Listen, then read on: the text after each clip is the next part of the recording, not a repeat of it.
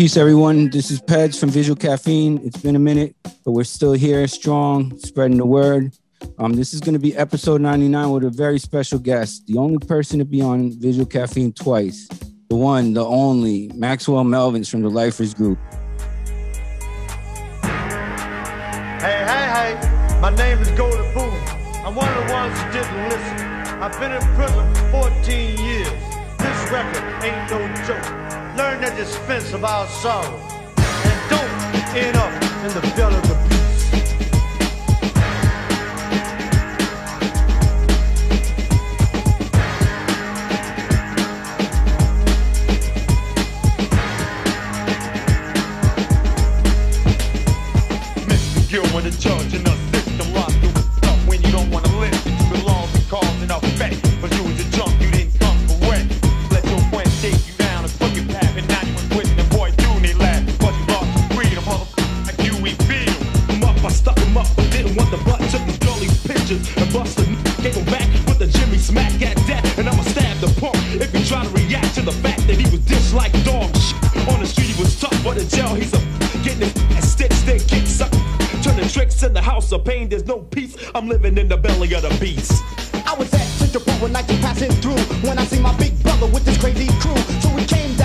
said, what's up with you? I tried to take a piece, but wouldn't turn it loose. The only reason why I didn't go out hard, cause my brothers in the front, I would've took them apart.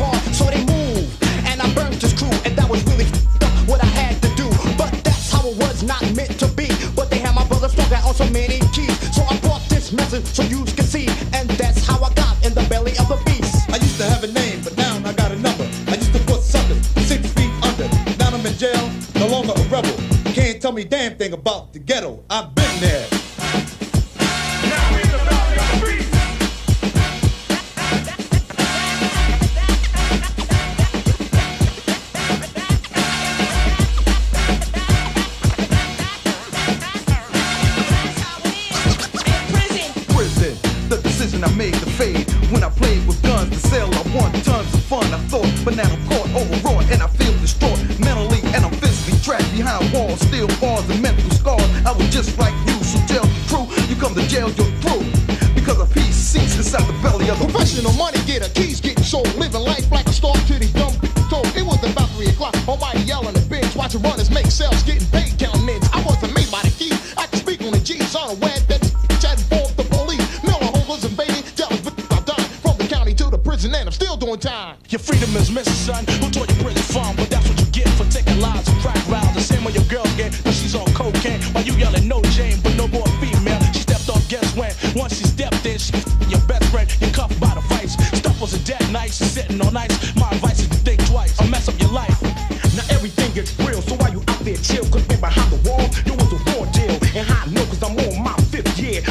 what you need to hear, not what you want.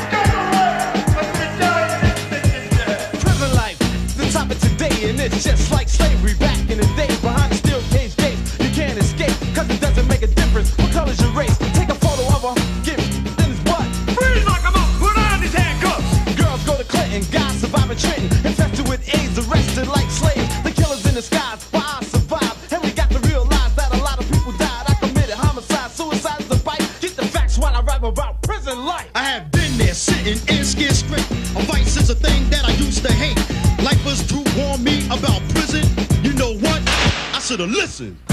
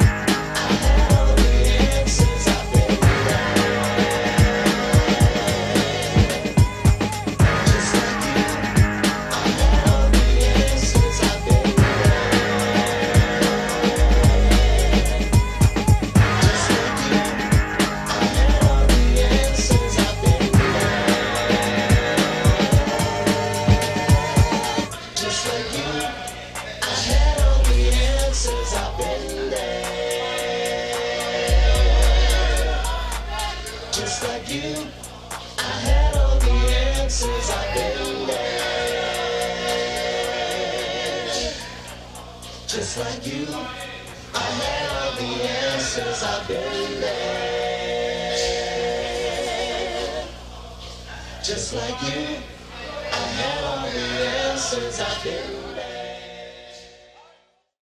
How's it going, Maxwell? Maxwell? It's, it's going on right. It's going on right, my brother. How's, how's it going there? Uh, it's going great, man. Great to see you. Great to hear your voice. Um, I'm feel real lucky that you're allowing us to spread the word. You know, because um, I don't know if everybody knows about your movement and what you guys Yeah. actually did. Um, can you can you just give a quick rundown of what you did of the lifers? It, it, it- it's not a matter of what we did. It's a matter, you know, what we do. And, you know, like the juvenile awareness program has been around for years. It's been around since 1976. Mhm. A lot of people know it best as Scared Straight. And the only reason that they know about that name, that was just a name that was given to it by one of the producers of a film titled Scared Straight. But as I said, it was actually the Juvenile Awareness Program. And uh, I was familiar with the program and, and, and over the years and the work that they've done. And, uh, you know, I had got transferred to Rahway prison myself. And, uh, you know, I know that the message was still reaching them, but, you know, sometimes you got to change change with times and everything. And early 90s, you know, late 89, you know, rap music was was was starting to take its hold. And, you know, they was listening to that and the, the kids was caught up into that. And uh, you know, I, I was just thinking and you know, me listening to rap and everything and realizing the impact that it had, I thought that maybe we can uh, spread our message by way of music Word, word. that's that's how the group you know moved over into the to, to the light of doing music Okay. How, Yeah. the, my my question is, how'd you guys get to um put that music together at Rahway? Because I was in Jersey, I lived in Jersey for a while. And I know, looking from the outside, Rahway didn't look like a place that could create music. well as, as you know um the music was actually done uh you know i had uh met uh some people you know met a few people met a gentleman by the name of david klein who was with red alert productions Mm. and uh you know he was going out to hollywood records to be the uh, head guy at hollywood basic records and so you know at the time i was reaching out for some funds for fundraising you know, to purchase some uh, different plaques and things for, you know, clients that had come through the program and might have graduated and wanted to, you know, give them some type of a plaque or something an appreciation. And so I was reaching out, and then I I, I made touch with David Klein, and he expressed, uh, Maxwell, I'm not going to be around much longer until he was going out. And uh, so the idea popped up in my head right now. Oh, he's going to be the, the head of a, a rap label and everything. And then I was thinking about in terms of the program and the message and, and, and the music and the impact that it was having. So that's how that started off. Oh wow, okay. So uh, there were many MCs through through that. It must have been amazing to do that to to try and help the, the cat, you know, the kids outside and just spread the message that you don't want to be in this place. Because I know at, at, at that time things were getting to the point where it was either you were dead or locked up, and there are choices. You know what I mean? Um, sometimes you know the economic choices ain't there, but there are choices. And I think that that's what the message that you guys were giving out, right? That you don't need to be locked up to be cool or anything like that. That shouldn't be a part of your lifestyle. Exactly. What, I- what I wanted to uh, display to them, I wanted to be an example of what not to become Mm, or where to be, you know, where to end up. So, you know, the music, uh, you know, it played a very important part and it really helped us to articulate the message that we were trying to get out there. Uh, the music itself, it, it, it really had an impact. And the reason I say that was because of the responses that we got and the interaction that we got with the parents and the kids. So that's why I mm. know the impact that music has. Music sa- does save lives. wow. So you actually talked to some of the parents and, and young youth that have been helped by your program. Yeah, they were no, they were writing letters. You know, this it wasn't Okay. just from the ones that came through the program. It was like from parents all over the world, kids all over the world. It wasn't just kids; it was adults too. You know, they was writing into us. They was reaching out, wanting to know how they can get in contact with us to tell us, uh, you know, how they thought, you know, that the music was affecting them and, and the impact that it had on them. Mm. Wow. So I, I know there was one one of the EPs that you guys put out was actually your, your number in, in when you when you were locked up. No, that was actually the number on that EP is my number on that six six oh six four. That number, it's not the number of the EP. That's my number Right, on right. there. That's that's that's my actual picture in the mirror Right, on there. right, right. That was my number. Yeah, that's my state number six six oh six four that was put on So there. you So a lot of people, a lot of people thought they could order the album by way of six six oh six four, but that wasn't the number. That was my number. but there, that was a message right there. You know the, Yeah, yeah, re- reality at its best. You know what I mean? yeah. Like I don't. It's, it- it's you identified by number. You ain't you mm-hmm. know you ain't identified. You know by name. Here you're a number. You once you come in there, you become a number. You become a Right. state. rep. Right. That that's part of taking your your thoughts away and stuff like that, making you you know fall in line. Correct. Yeah, yeah, exactly. Wow. So with the you know people um incarcerated have um been in news lately because of this COVID. Um we want to send, send shout outs to them and that we love them and we still, you know, we still rock with them and stuff like that. What are your thoughts on the prison system in terms of um, you know, a couple things like the, the black and brown incarceration going up and um the treatment of the prisoners while they're in there and the, the people that are incarcerated with the COVID. Well, my thoughts on. I'm gonna hit. I'm gonna go on to touch on the COVID first. Okay. I don't think. I don't think the COVID was, you know, set aside in prison. I don't think it was handled very well. Mhm. You know, I think they responded rather late in there as well. And and with that prison being so compact and everybody so congestionalized that it would have a, a, a, larger scale on the ratio inside there because everybody was so you know living in such Mhm. close living quarters and everything.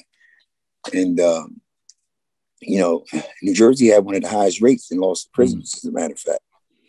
You know, and um, you know, we did everything out here that I could. Well, I'm gonna say myself and Die Jim Crow, because I also work with Die Jim Crow Records, which is a nonprofit record label. Mhm. You know, as for formerly and currently incarcerated, we raised about 23,000 prison facial masks through PPE and fundraisers to Mhm. send into the prisons throughout the United States. Mhm. So we did what we could do. Right. You know, I, you know, we wasn't just sitting back and say, "Well, y'all doing this and doing that," but we took steps, you know, do what we can do to save as many as we could, you know, by sending those uh, people the masks and PPE masks in prison and everything. So, but they handled it. It was rather handledly handled very poor, and they was, you know, they did take action, but it was already too late by then. By the time they started to take action, Right. Is, And, is uh, it, uh, uh, sorry, bro. Is there any way that people um can can help out with sending masks or or what, what can we do to help out? Well, to help out, I believe they can, um, you know, they can write into their their their, their uh, public leaders and everything, and you know, to encourage them to pay more attention. And as far as the public can write in, you know, to their legislators and different people, to encourage them, you know, that they're people too, they're human too, and that this is a matter that should be handled appropriately because it's also a public safety issue because remember these are the same people that are going to be returning out here at some point. And you know we don't want them bringing that right back out here and spreading that. So we want to do everything to protect them while they're in there as well you know? So they can do a number of things you know? If they want to donate they can call into these prisons and call into the state house and tell them that they have masks and different things available that they would like to donate to the system for the purpose of prisoners and different things. And you know they can go from there Right, right. That's that's that's what we got to do, man. Because you know our brothers and sisters are in there and uh, they're not being treated correctly. You know, so Nah. we gotta we gotta look out. yeah, they have, they're not being treated correctly in a lot of ways. And Yeah. as you mentioned, the thing on the black and brown, I mean, that's a fact that, you know, New Jersey even had one of the highest incarceration rates over any other state as far as ratio and, and, and, and the people of color who was uh, arrested more than any other in the, in the state.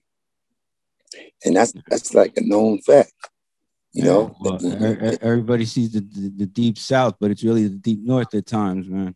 Exactly. If, if, Yeah. you, if, if you notice, the deep north in New Jersey was one of the last states itself to abolish uh, uh, slavery. Right. Yeah. Mm. Yes, they always think it's the South, but no, it's right here. It's right here before us. Right, and it continues. yeah, Until that- this day. that's crazy. Until this day. So, oh, go ahead, brother. And all these days and time, you wouldn't even think that it would still exist in this day and time, but it does. Yeah, sometimes even worse because they got more more power with the with the laws, even you know. Exactly. yeah.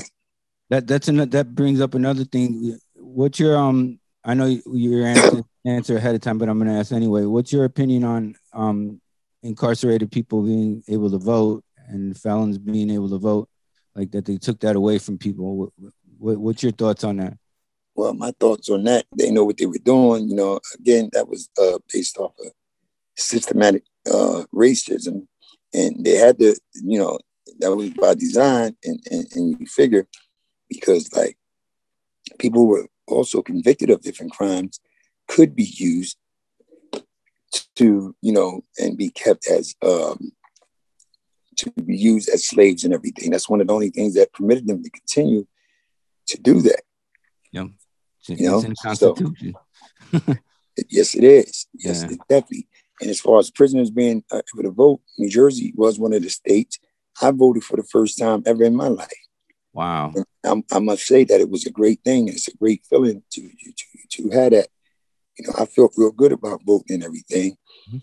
And New Jersey had approximately about eighty-five thousand guys that who were eligible, former ex-offenders and everybody who mhm. were eligible to vote.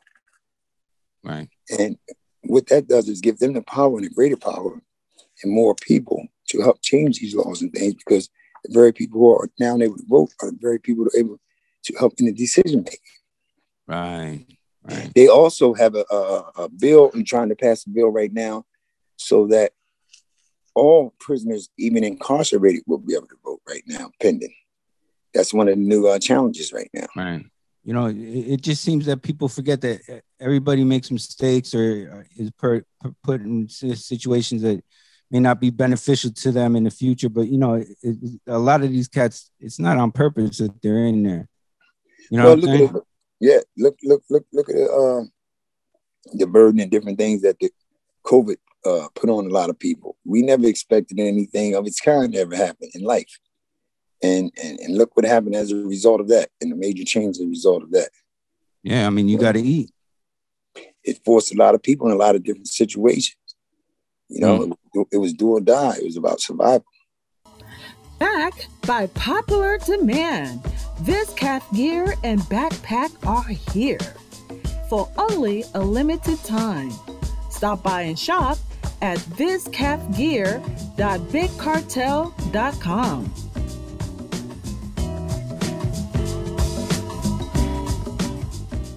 What are your thoughts today on the private prison system and like how that, that they treat the uh, offenders that are incarcerated? Like, what are your thoughts on that? I actually don't believe that they should have private prisons, and some of the states abolished that private prisons, as far as the as far as the states, you know. But the fact of them having private prisons is just as worse as state prisons because they're not as regulated as other prisons are, Exactly. and they also have um,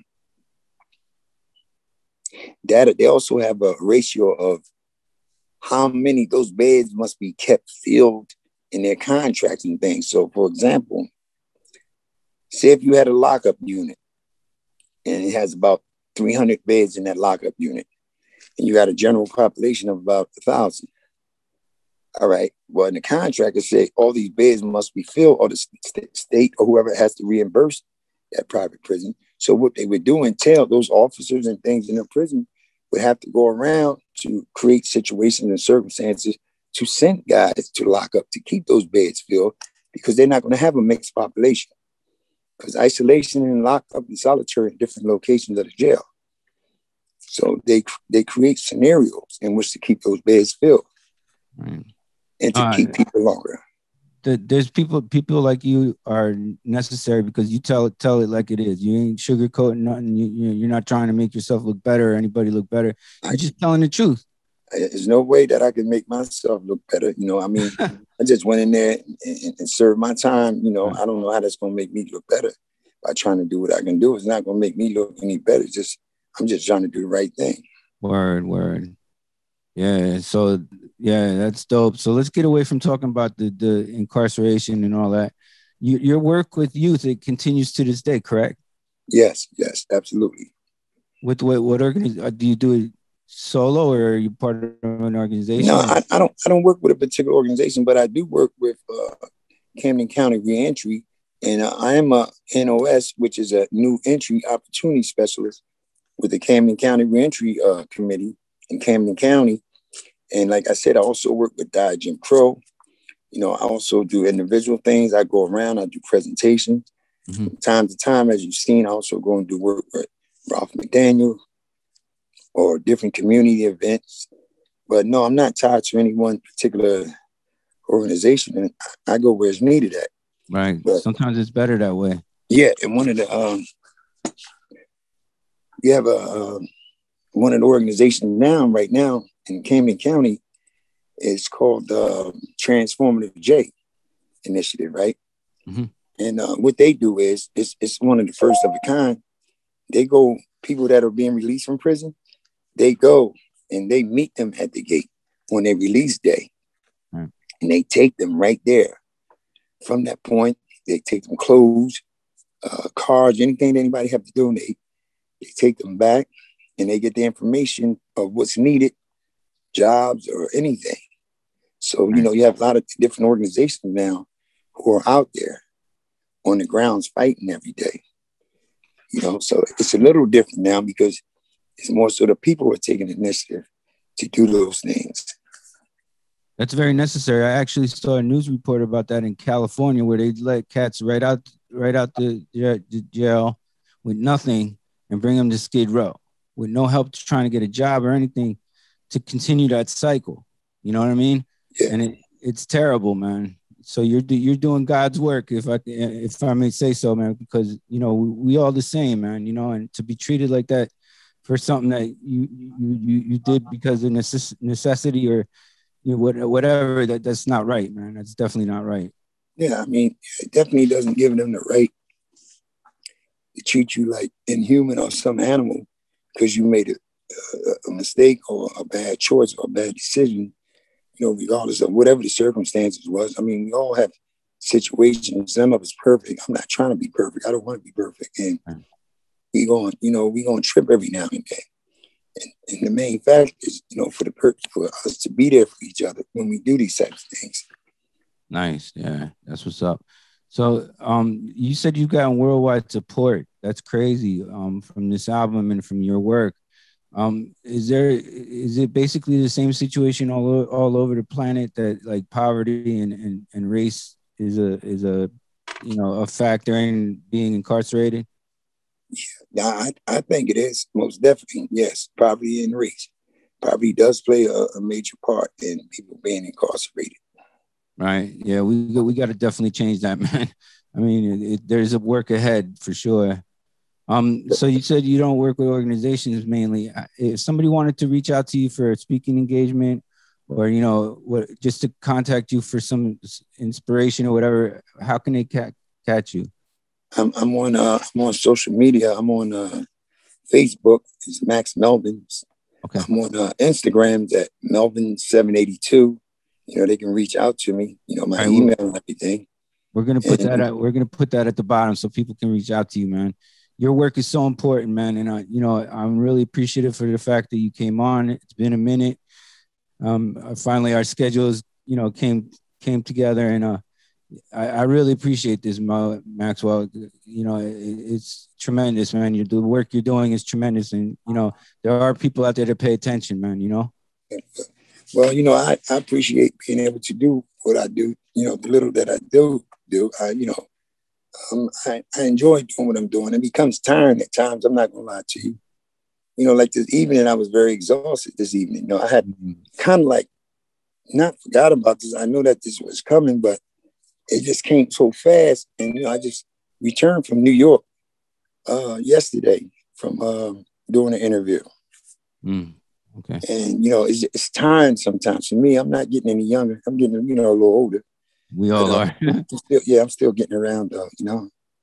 Yeah. So- Well, like I said, man, we, we really appreciate it, man. And um, yo, just keep doing what you're doing, brother. We, we really appreciate it. If you got any last words, any shout outs, you know, any message you want to give, the floor is yours, brother.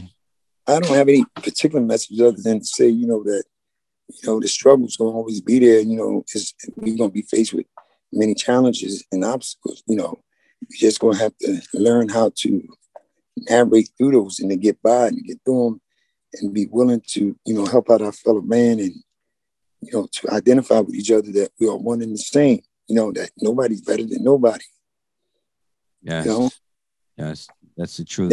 and, and I, I'll just keep telling my story, you know, as long as I can, and keep saying the same thing over and over, you know, until I get it to people's heads. I mean, if it reaches some, it reaches them. If it doesn't, it doesn't. But I'm gonna keep on. Right. You're an inspiration, my brother. I keep saying it. Thank you. Like I said, thank you for coming on. I know you were you were tired, but the, the struggle continues, man. And thank you. We're gonna put all your contact info on, and uh, I, I'm gonna say it again. Keep doing what you're doing. Keep, right? And I appreciate. are watching. You know, we, we listen to you. Thank you, and I appreciate the visual caffeine. And you know, it's an honor to be on here. You know, and I appreciate y'all very much. Thank you. Anytime, I'm here. All right, man. We'll, I'll, I'm gonna take you up on that. All right. Take me up. I'm All right, here. brother. All right. All right, Thank you peace. very much, sir. All right. Take it easy, man. Salute. All right, peace. That was Maxwell Melvins on Visual Caffeine, episode 99. The Lifers Group. He does work to help the youth, to help our incarcerated brothers and sisters. Thank you very much again. Um, you can catch Visual Caffeine at www.viscaff.com or Visual Caffeine TV on YouTube. Um, Dr. Von Rollalot on Mixcloud. And we got backpacks out. Viscafgear.bigcartel.com. And uh, yo, just keep watching. We got episode 100 is going to be special. We love you. Thank you for standing by and support the culture. Peace.